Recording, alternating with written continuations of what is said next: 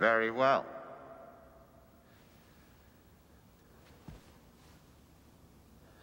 You are free. But I warn you, if you make any further inquiries, or if you say a single word to anyone about what you have seen, there will be the most dire consequences for you and your family.